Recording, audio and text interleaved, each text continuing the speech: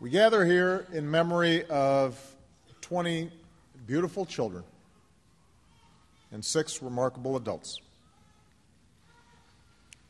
They lost their lives in a school that could have been any school, in a quiet town full of good and decent people that could be any town in America. Here in Newtown, I come to offer the love and prayers of a nation. I am very mindful that mere words cannot match the depths of your sorrow, nor can they heal your wounded hearts. I can only hope it helps for you to know that you're not alone in your grief.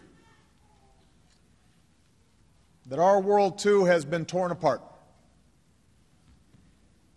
That all across this land of ours, we have wept with you. We've pulled our children tight.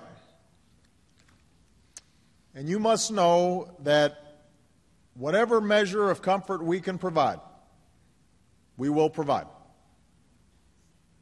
Whatever portion of sadness that we can share with you to ease this heavy load, we will gladly bear it.